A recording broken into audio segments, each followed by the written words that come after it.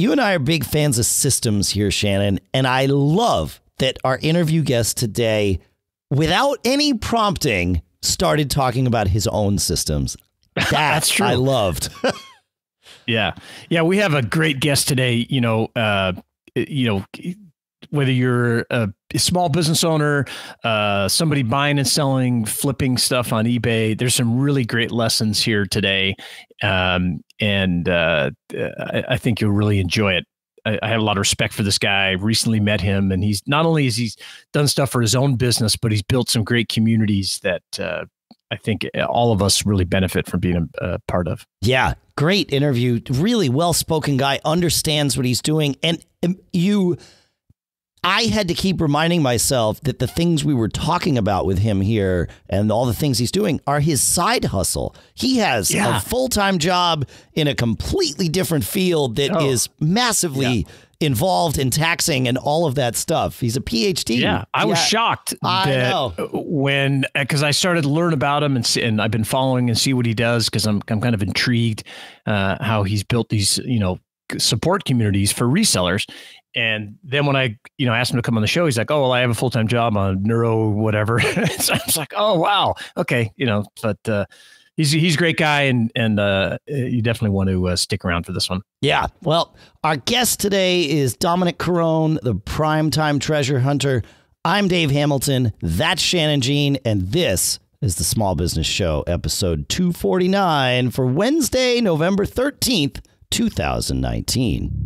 I decided from the outset I was going to create a group that is a positive and supportive group where we're not going to allow any trolling or any bullying or anything like that. I have a great group of moderators that help me out with the group. So a lot of credit to them, but we've helped to set the tone and now there's over 13,000 members of the group and I can honestly tell you that there's rarely any instances of any kind of trolling or bad behavior and if someone brand new comes in and tries something like that, it's like they're immediately ostracized because the, the culture has been established. And so that's uh, important for your you know for your listeners who are in leadership positions in, in small business and you have employees that don't underestimate the value of building up a certain culture because if people believe in it and, and buy into it they will um, you know they'll follow along with that and help you try to accomplish the vision that you have set out for yourself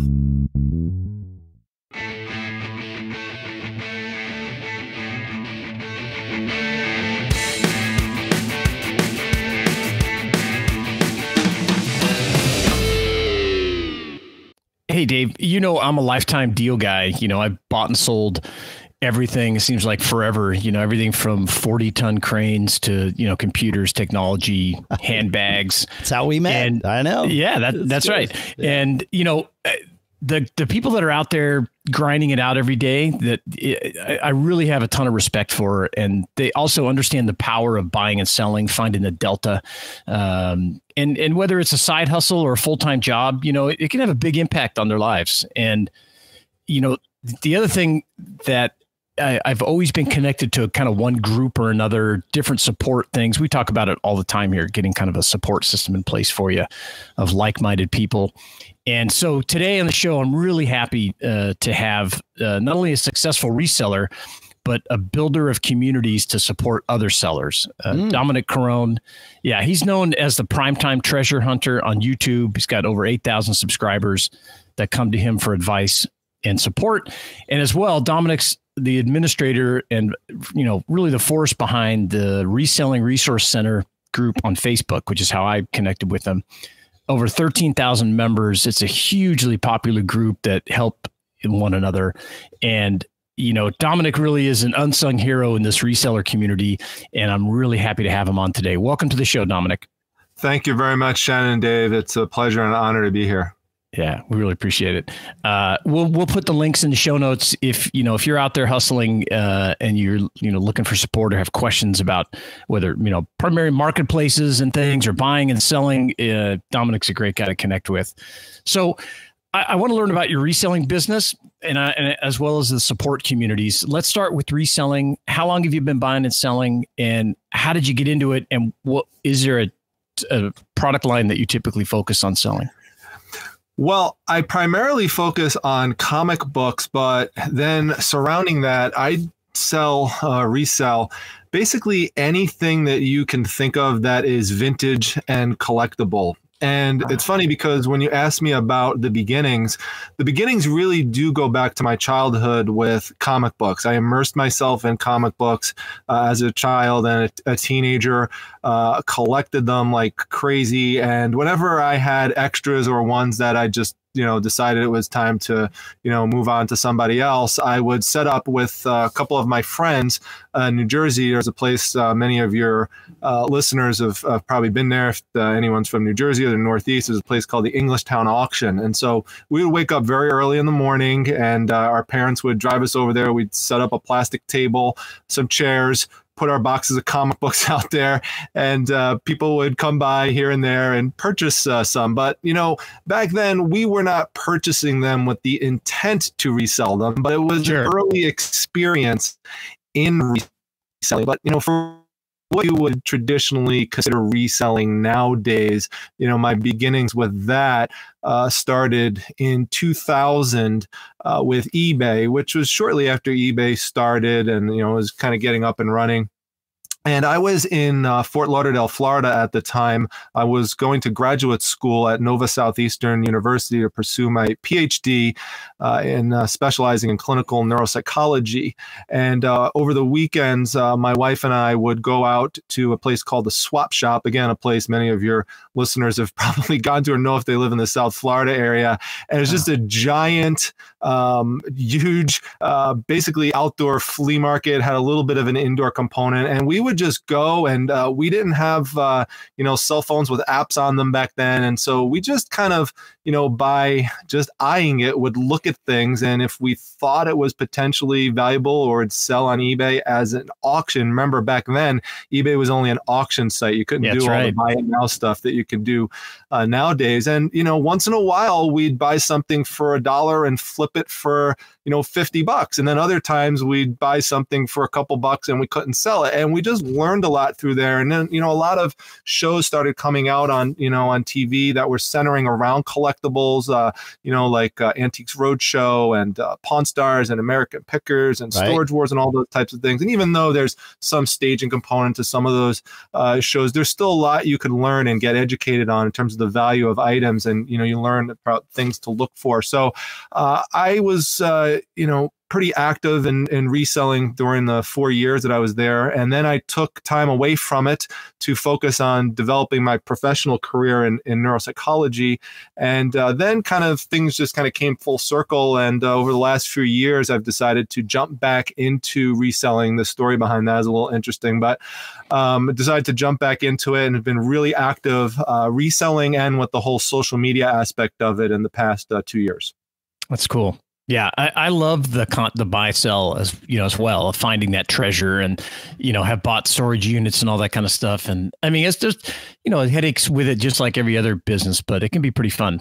Uh, and, and yeah, I mean I am a treasure hunter at heart. Um, you know, before I was actively getting back in, and this is actually it's kind of interesting because it's one of the experiences that I had that actually led me into developing a YouTube channel is uh, I was uh, pretty interested and um, uh, getting into the hobby of metal detecting, which is which is treasure hunting, and yeah, sure. um, it's a lot of fun. I had a blast doing it, and mostly I was treasure hunting on on land, you know, uh, parks and you know schools and stuff like that. Once in a while, I'd get into a different area, but there was uh, a guy on YouTube who I was watching who was uh, doing uh, metal detecting in little shallow rivers, and he was always finding uh, Civil War collectibles. And it's fascinating to me. And I loved his YouTube channel, and I watched it all the time. And then from there, I started watching some reseller YouTube channels that would just kind of pop up, you know, on the side related right. to that. And it just kind of got me connected into the whole YouTube universe. That's cool. That's yeah. great. So, uh, when you're buying and selling this product, are, are you primarily on eBay or are you selling uh, other venues as well? Right now, I am primarily on eBay. We do some local marketplace uh, flips for bigger, bulkier items like furniture uh, pieces that my wife helps with that aspect of the business. She is very good at restoring uh, furniture and touching it up to make it look nice. So we'll often get free pieces of furniture that are being discarded by somebody on the side of the road, or they'll post that it's free for pickup. We'll go get it, and you know she'll work on um, you know in that in that situation I'm really just the heavy. I'm just picking yeah. it up and bringing it back, and she does all the touch ups. But yeah, we'll flip that stuff on on Facebook Marketplace or Offer Up or you know Let's Go or you know Craigslist or something like that. I've dabbled cool. a little bit into Poshmark, but not much. Um, and so, you know, there's other areas to potentially expand into, but right now it's primarily eBay. It, this is fascinating. I mean, you just you just find where the deals are and go after them. Like, it, unabashed is sort of the, the word that comes to mind, and I think there's a lesson here for our our listeners. You know, don't don't hold back for any reason. Just find the stuff and go do it it's, yeah it works. you have to have that. You it's very important for for for people who are starting a small business is you have to have a go get them attitude and you have to also just eventually you know do what it is that is your goal. So, for a perfect example of this would be the YouTube channel, and a lot of people put it off because they're nervous and stuff. And uh, eventually, I just got to the point where I actually heard somebody say, who was a you know a bigger uh, time YouTuber, who's like, you know, listen, you know, just do it. You want to do it, just do it. And so I just decided one day. I actually looked at it last night in horror. I still keep it out. My first YouTube video, which was on right. the value, believe it or not, of vintage spray cans but it's just it's just terrible compared to what I'm doing now. I mean, I keep it up just to look back at it and to see how much I've grown in terms of you know developing because it's a big it's a big challenge. There's a lot to learn. I had not done anything like that before, but you just got to jump in sometimes and learn as you go. That's yeah, the I, only that's way to do it. Yeah, yeah, yeah. If you expect to be an expert the first time you do something, you will never do anything. Absolutely right. Right. Yeah. yeah. You know, that's impossible. It's really good. Yeah. It's great. It's it's it's great advice. Yeah. Um. So uh, the, the one thing I really uh, struck me watching the videos and and uh, listening to you is you know uh, people ask me about product sourcing all the time, uh, and I typically say, "Hey, those are my trade secrets. I can't tell you where I get all this stuff." But you kind of do the opposite, right? You explain the how and the how the costs and and how to find stuff and everything on your YouTube channel. Um, so l- let's talk a little bit about that. Uh, how you got why, why the how and why you got started in YouTube. Uh, I mean, were you doing it to try to eventually generate revenue or just build this community, promote your own business? What was the impetus impetus behind that? There's there's multiple aspects to it. Uh, you know, eventually, if you catch on, yes, it can be a, a, source of revenue. Right now, it's a relatively small source of revenue for me through advertising. It takes a while for you to even get your channel to the point that you could get it monetized. And you need a thousand subscribers, for example, and you need to have a certain amount of, of view time. So it's not like you could just, you know, flip the switch and you right. know as the old saying says and uh, all of a sudden start making money through through youtube doesn't quite uh, work that way uh, but that was that was one goal as something i would like to do is is you know continue to develop that but uh, also i just really wanted to take it on as a as a personal challenge and i like taking on uh, personal challenges and something that i haven't done before and i don't want to regret you know, at the end of my days, you know, I wish I would have done a YouTube channel. I thought about doing it, but I didn't do it. So I just figured I'd dive into it and try it. Uh, I wanted to share my treasure hunting experiences with people. I, I was watching other channels and people were doing, uh, you know, something similar, but I felt like I could add a unique perspective to it. I felt like, for example, I could add insights into the psychology of buying and selling uh, based on, you know, my career in uh, neuropsychology. So I not know know a lot about how people think and what motivates people. That's and cool. also, I felt that I could help people with uh, motivation. I've written two books related to motivation. They're they're boring books. You're, you're they're not any. It's not like self motivation, but it's just it's academically based. Mm. They're academically based books, but it's an it's a topic that's of interest to mine. I felt like I could shed some light on it, and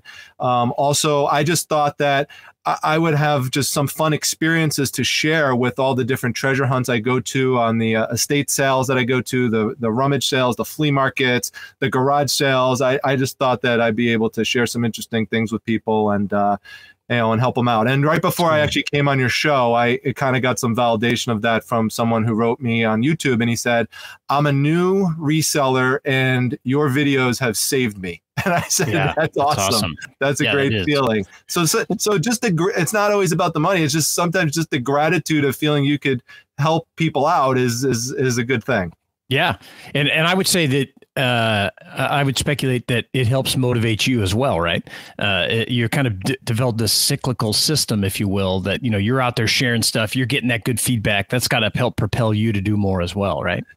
It does. It, it makes you accountable. Uh, you know, because people uh, ask you, for example, if you went and sourced something and you said you were going to sell it for, you know, you thought you'd sell it for X, Y, or Z, they'll say, "Hey, did you list that yet? Did you sell it? Whatever happened to that item?" Uh, yeah. Or what's happened, you know, more recently, which is interesting, and this gets to where where you're talking about is develop a source of revenue. Uh, developed a small enough following now that people start asking me when they see something that I sourced that they would like to purchase it. So that actually oh, yeah. motivates me to not put it aside and let it sit there for a while and just you know get it listed and then someone you know will will just purchase it directly. And so uh, you know that's a that's a cool experience as well. And then the other thing is that um, you know sometimes i might run into a problem and i can't solve it and i'll ask the audience for for help or for assistance. And you know with the audience built up how it is now uh, you know i could pretty much get an answer very fast if there's some kind of problem or something that i need a solution to that's really cool. Using it as your you know resource for you as well. Yeah, that's so it is reciprocal, like you say. Yeah, yeah. yeah well, and, and, how long have how long have you been doing the YouTube channel? The YouTube channel uh, is coming up to about uh, two years. I did my first video at the end of December. I think it was December twenty eighth, uh, two thousand and seventeen. So. Uh, we are getting close to 9,000 uh, subscribers, and uh, I'm hopefully maybe 10,000 by the end of the year. It will be uh, fun.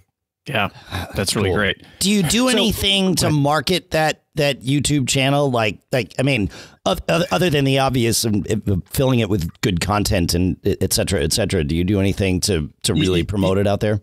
Yes. Um, so I think that, and this is a very important thing for for small business owners, is that it's real important to be on social media.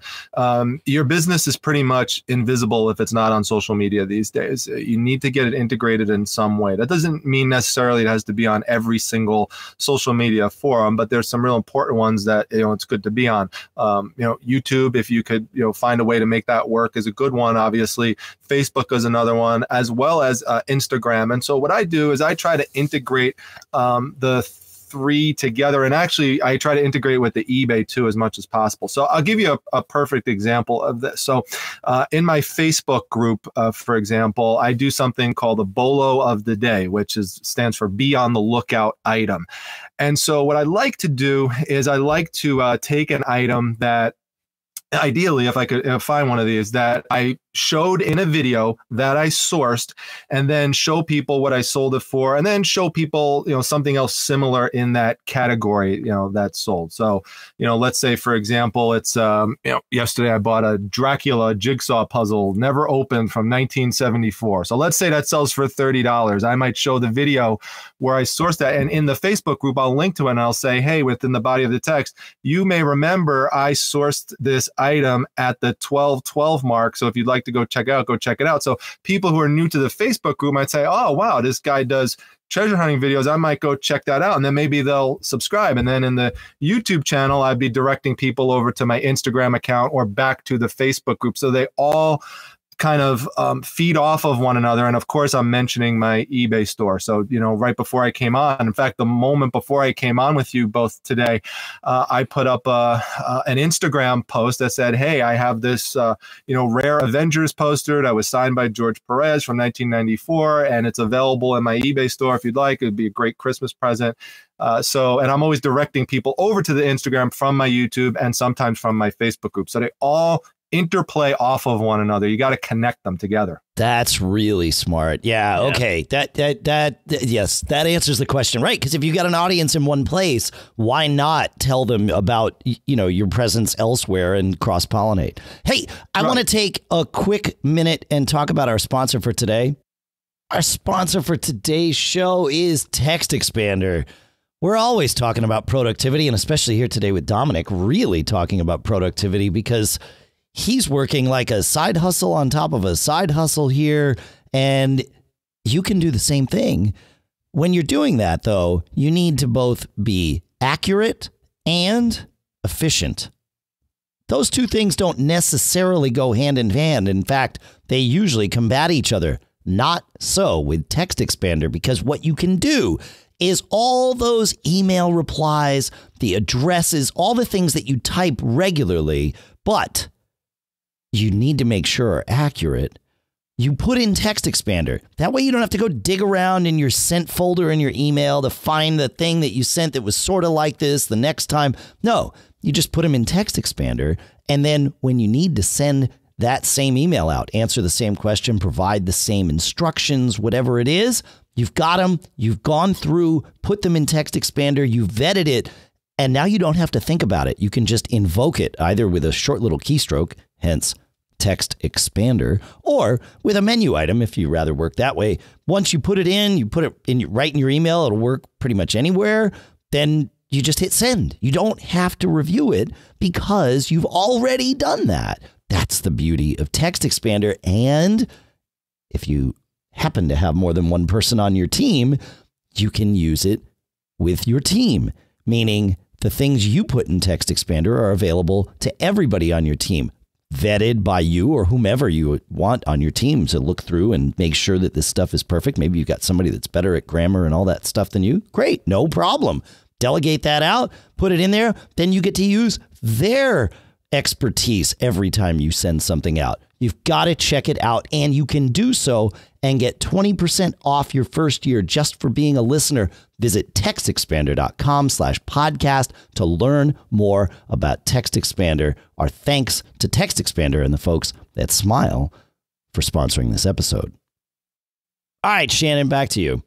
Cool. Hey, so we're, we're kind of talking about buying and selling again. I, I want to say, what do you think your uh, kind of the, one of the biggest problems that you face as a reseller? Uh, is there is there something recurring that that kind of comes up that you've worked to overcome to make your business more profitable? Um, some kind of tip that you can share with our listeners. The two problems that I faced are not problems that are unique to me. Uh, they're really a, a problem that most resellers run into, which is space and time. right. um, because it's very easy to go out and source items. Uh, the more challenging part is the listing aspect to it. You know, people get that thrill of the treasure hunt. They love doing that. I do as well, but you've got to list it or else you're hoarding the stuff. And so, um, uh, but if you want to grow your business and, and pick up on certain opportunities that come your way, you know, you gotta gotta grab them when they're available. So that will lead to an accumulation of stuff sometimes. So uh, you've uh, like initially for me, what I what I started to do was initially just start investing into my business by you know purchasing some really solid um, you know metal storing shelves and and putting them uh, throughout my uh, residents in the areas where I'm permitted to put those types of things, you right. know, so in the garage yep. or downstairs in the basement, that type of thing. Uh, but once that started running out, I've always had wanted to get a storage shed. And so this just gave me a perfect excuse for it. So uh, I wound up getting a nice storage shed over the summer, did a whole video on it, and uh, I've shown it kind of develop over time. And so, you know, for people who don't have the space for a storage shed, you might need to get a storage unit or something like that. But, uh, but space is a continuing uh, challenge. And then there's time. And uh, time really, um, you know, there's so many other things that I'm doing. Uh, as you mentioned, you know, I have a full time job and stuff, and so I've got to continue to try to develop uh, efficient systems to to list. And so I I modify things over times in terms of what I do. I'll give you one perfect example of it. So uh, sometimes what someone will do is they'll they'll take an item, they'll they'll photograph it, they'll go over to the computer, they'll list it, they'll get back up again, they'll photograph, they'll go back to the computer list it. I tend to take like a whole bunch of things at once and usually things that are similar, like for example, posters, and I might just take a bunch of pictures of posters all at once, try to capture them in daylight. So on the weekends, for example, I would tend to photograph those and and then I you know I may I may know I don't have time to list them now, but maybe I'll have time to list them later on at night. And so uh, I'll, you know I'll put them up I'll put them up then. So t- trying to take advantage of proper lighting opportunities when you can, uh, grouping similar uh, types of items, uh, taking pictures of multiple items at once. Because the problem is, is that if you're doing them one at a time, when you sit down onto the couch to do it or wherever it is you're sitting to relax, it it's harder sometimes as the night goes on to get up, you know, a second, yep. a third, a fourth, a fifth time. But as opposed to if you have them all already set, you know, it makes the listing process more efficient. That's just one example. There's lots of uh, different, uh, you know. No, that's tips. a really smart thing, though. It, it just in general, whatever your business is, compartmentalizing as you would if you had multiple staff members, right? You might have one person, if you were, you know, if this were big enough and you were doing it as a full time thing, you might have somebody that all they do is take the pictures and then somebody else that's posting to post social media. Well, for a lot of us, that's us, right? We do all the jobs, we get to wear all the hats, but still compartmentalizing it, dividing the labor up and saying, okay, I'm going to do all of this right now. It makes it way more efficient. Not only is it, you know, a brain hack for motivation, right? But it's also just way more more efficient to do it that way too. So way, way, way more efficient. I'm very big in efficiency, and actually, this podcast coming out at this time of year is perfect timing for your listeners because I would suggest I do this every year. I mean, you could do it throughout the year, but definitely at the end of the year is to take a step back and look at the systems you have in place in your business and figure out what is not working in the ideal way in terms of efficiency and time. So, for example, at the end of last year, I realized I was wasting a lot of time uh, printing out labels, cutting them out, and taping them on. So, I took the you know the time to invest and research into a a thermal printer, which just prints out the labels almost instantly. It doesn't use any ink. It just comes out. You know, it's a heat based uh, printer, so it basically just burns the address right into the label and uh, comes right on. Literally takes like two seconds now to print a label. Uh, or I was spending a lot of time just uh, after I got home from work, turning on my old laptop and waiting for it to just kind of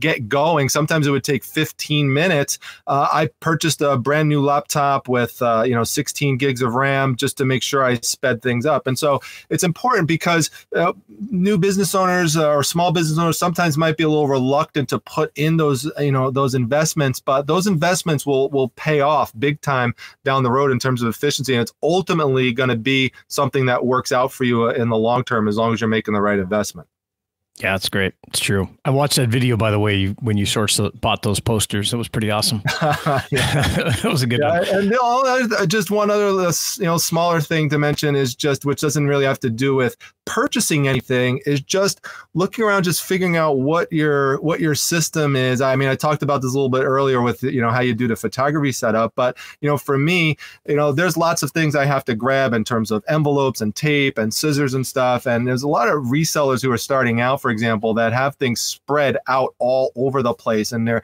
they don't realize how much time they're wasting walking to another room to get you know the scissors, and then walking to another room to get the tape. So I have everything kind of centralized. I have a rule: everything I need once the item uh, sells and needs to be packed and shipped, everything I need to complete that has to be within arm's reach. No, that's great. Yeah, that's very cool. So, okay, I want to talk about the Facebook group, uh, the Reselling Support Center. You know, if you're in in the business of buying and selling, or you're on marketplaces like eBay or Poshmark, Tradesy, whatever, uh, you know, I, I, highly recommend you join. So, did you start the the uh, the support center to promote your YouTube videos, or vice versa? H- how did all how did the the group come about? Um, the the Facebook group came a couple of weeks after I started the the YouTube channel. Um, just so your your your audience knows if they if they're interested and want to come by and check it out, it's called the the Reselling Resource Center, and uh, you know that'll easily show up. They just type those words in on on Facebook. Yes, that that was one reason would be to uh, promote things and you know i can't uh, promote things unfettered in other people's Facebook groups because it's their Facebook group. So right. there's something to be said for having your own group that you develop. And, you know, to be able to promote things though successfully, you have to build up a good community.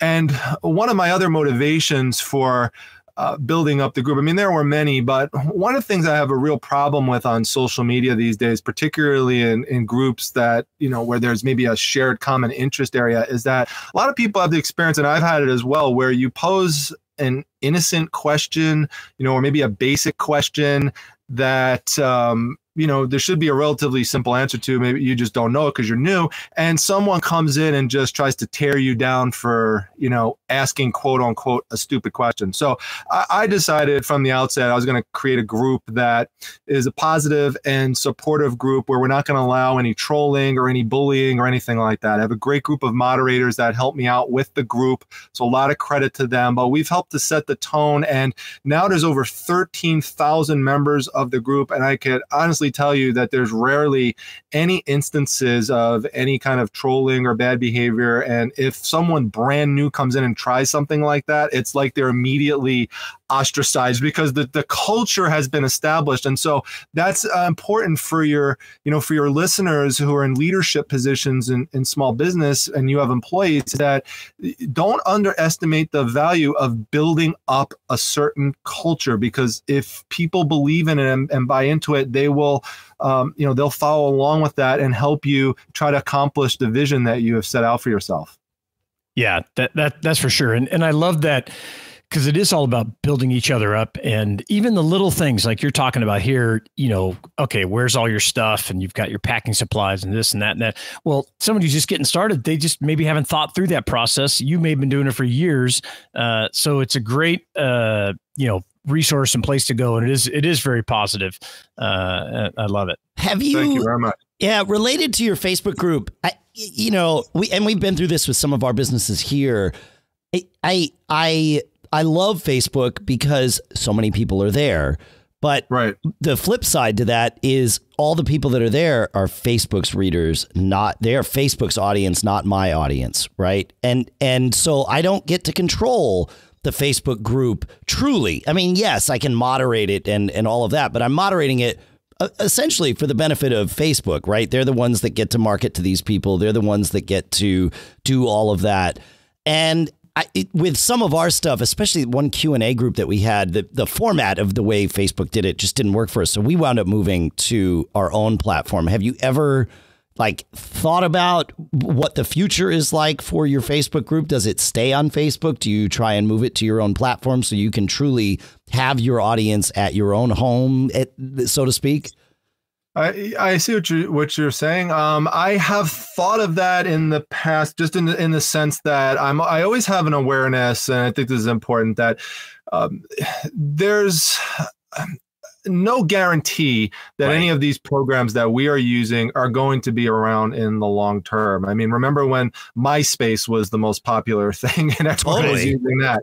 So, and especially with all the the controversies that Facebook gets itself gets itself involved in with privacy policies and politics and stuff, you never know how long that's going to last. And so, I do always have that in the back of my mind. It's not something I've actively looked into yep. uh, right now to do, but it's it's always good to kind of to kind of think about these things. But we try as much as possible to uh, you know take the group and to use it as as a mechanism for um, you know positive and, and supportive change in, in people's lives and to help people uh, make money. Like we have an event every week, um, which I'm sure you've seen, uh, Shannon. It's called Support That Seller Sunday. Yeah, where where I take one seller out of the group who's been a positive member in the group and has helped support my uh, my my group, have helped support the the Facebook group and my YouTube channel and stuff. And uh, I showcase them and I ask everyone in the group to go look at that person's store. Put a link up to it and uh, ask people to buy from that person. And we've had people make up to 500, close to $500 in one day of sales. Uh, people who get picked for that event at this point, pretty much it's guaranteed they're going to break their sales record if they get selected for it. And so, you know, it's a really, um, you know, a, a good way that we, you know, we take Facebook and, you know help people um, besides myself uh, market it because I don't want it to just be for for me. I want it to also be for other uh, people. That's one of the things that also I wanted to do different with my channel because if you go into a lot of other, cha- uh, I said channel, a lot of uh, Facebook groups, it's primarily uh, centered around the person who who runs the group. But I wanted it to be a way that I could actually showcase and feature people and you know, help them promote themselves in a structured environment.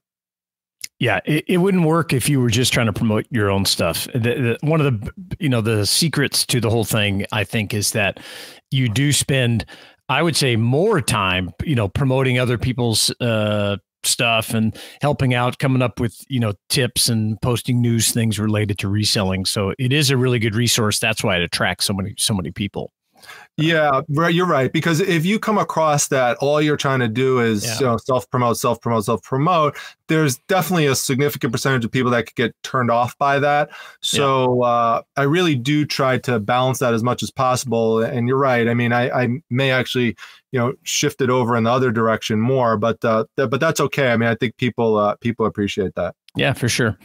So uh, you know, on this show, we talk a lot about mistakes all the time. We just did a big uh, episode on failure last week, which I'm an expert at. So uh, we went really well. Uh, but so, you know, we, are the reason why we're fans of, of mistakes is because they teach us so much, right? Yep. And looking back on them. So, what would you say is your best mistake? I'm making quotes in the air here. The you know the one that stuck with you, taught you a valuable lesson, either related to reselling or or with your community building. Uh, one one of those.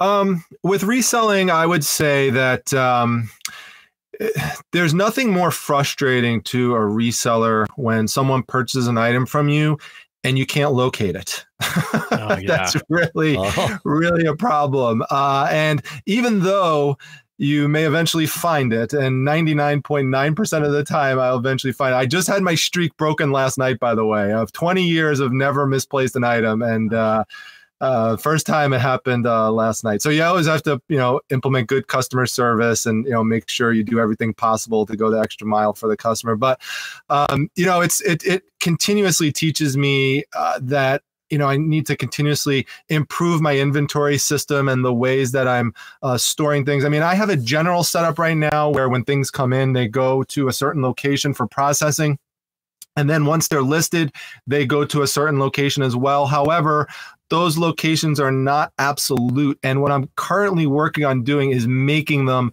100% absolute. So nothing could go, for example, in section A unless it's something that listed. There could be no crossover because once you start getting into crossovers like that, things start to get muddled and things could get misplaced easier. So uh, yeah. that that would I'd say be my main thing. The other thing would be with reselling is, uh, and I pride myself on shipping. I have a ton of videos on shipping, but once in a while I'll make a mistake uh, with shipping. Something might might break. Now it might not technically be 100% my fault. It could be that the postal service uh, worker chucked my package, you know, onto the porch, and that's why it broke. But you still have to try to protect it as much as possible. That you know could even withstand something like that. And so I'm continuing to try to uh, you know do videos to show ways to kind of make your packages as as iron proof as possible so that they don't get damaged. So always learning from things like that as well. Yeah, that's cool. Yeah, and you know the the not being able to locate an inventory item. I'm I'm familiar with that, unfortunately, and that's one of the big metrics that you're uh, rated on eBay for as a as a reseller, and can really drive your uh, uh, top rated seller. You can lose that oh, right. quickly, and right. I mean the ratios are really uh, slim on on mistakes you can make. So you want to be be sure to be focusing on keeping track of that inventory. Absolutely. Yeah. So so what's next for you? Um, are you you want to continue doing what you're doing now? You want to expand into other areas, grow the business? I mean, what what or are you at a, a, a I mean, I know we talked about time and uh, you know, you're pro- probably like Dave and I working all the time, but right. quote quote work. You know, what what do you want to do in the in on in the future? Um, you know, I, I, would say I started this as an experiment to see where things would go, and um, you know, I've set goals every year for myself, and uh, I've been meeting those goals. And so, as long as I'm, you know, meeting those goals, I'm having fun doing it. That's also important. You have to have fun doing it. Uh, I'm going to continue on with it, and so. Uh, you know, in terms of where things are going to go from here, I I would like. I'm actually pretty close to uh, publishing, self-publishing my own book about reselling. It's about nice. the items to be on the lookout for. It's um, going to be several hundred pages long, so I'm looking forward to uh, to finalizing that. I was hoping to get it done by the end of the year. I still might, if not, beginning of next year. Uh, I am interested also in expanding areas where I'm sourcing into. I source at most, uh, you know, commonly you know known locations, but uh, storage units is an area that I'm, I'm very interested in. So that's uh, something I'd like to do and bring those types of videos over to my channel because those are very popular in the reselling community uh, on YouTube. Are storage unit unboxing videos. People love that type of stuff. Huh. Um, you know, long, long term, I would like to uh, retire when I can, which would be about age 60.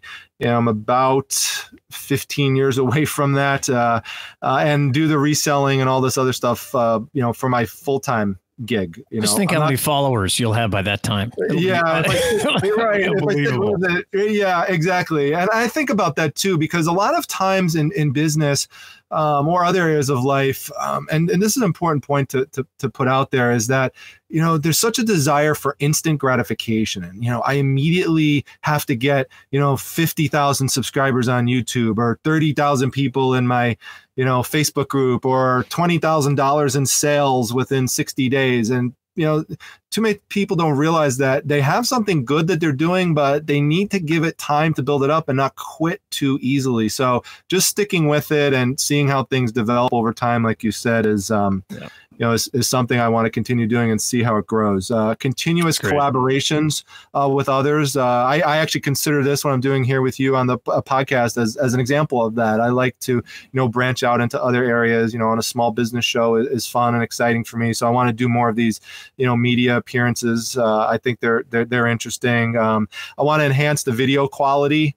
Uh, on my um, on my YouTube channel, uh, Mhm. just increase the uh, production quality of that type of stuff. So there, there's lots of things that I uh, plan Great. on doing. That's just like a few examples.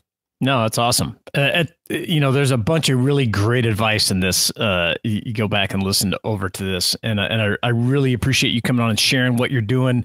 I have a ton of respect for the communities that you're building. I know how much time it takes to you know put everything out there and manage it. Um, and you know, so go once again. Let tell our listeners the best way to connect with you and your communities. Um, well, the easiest, the most open access way, because the Facebook group is closed and requires people to be approved, is is on um, is on YouTube. And so you can just go over there, Primetime Treasure Hunter, a YouTube channel. Uh, appreciate if you came by and liked the content, if you subscribe to it. And uh, there's comment section there where you could reach out to me. Uh, I'm also available by uh, email at primetimetreasure at uh, gmail. Dot com. There's no S at the end of that. And then there's the Facebook group, the Reselling Resource Center. Um, you could, uh, you know, request to join there, and you get in and talk to me there. And if you're in there, I could talk to you on Facebook Messenger or do that with a lot of people. And then there's also Instagram. So there, um, at Prime underscore Time underscore Treasure. No S. Awesome. That's Yeah. great. Yeah, and uh, we'll put those links in in the show notes as when we push this uh, this episode out later this week as well.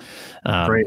Thank yeah, you. th- and thanks again. You know, we really appreciate it. Uh, excellent tips, and uh, highly recommend anybody that's reselling uh, get over to those groups and and watch those videos. Thank you very much, Shannon and Dave. Yeah, Thank thanks you. for coming, Dominic. Appreciate it.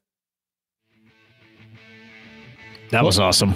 Oh man, I, I, I, yes, man. He knows. Thing, he knows what he's doing. He knows how he's doing it. He also knows he has a lot to learn. Like he's he's not cocky about it, but no, no, confident. very humble. Yeah. What I love about it is that even he's talking uh, a lot of the advice and the things that he's he's bringing up uh, on a real micro level. Like if you, oh, I'm a reseller, I'm buying and selling collectibles, vintage items, whatever it is. But those same things that he's talking about are applicable no matter how big or small your business is, right? The culture that he's building, all that kind of stuff, managing inventory. It's it's powerful, man. It's, It's cool. power, totally powerful. And he is, I, mean, it is a real business. He is running it Yeah, very much like a real business. And as I mentioned in the intro, it's his side hustle. Like he is super serious, super dedicated to this.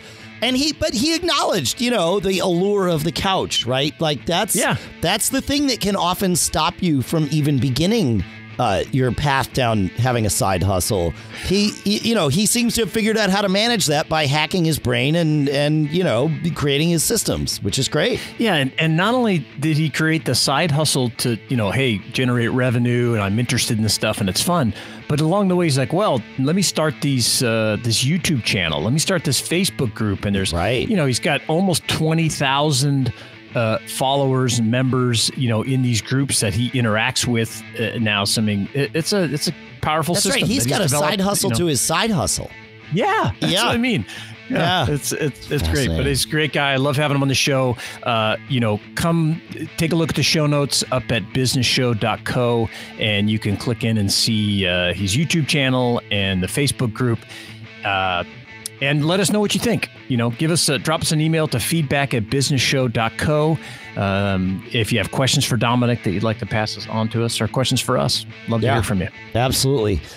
I'd like to thank our sponsor, of course, uh, Smile Software there with Text Expander. Go check them out and keep living that charmed life. We'll see you next week.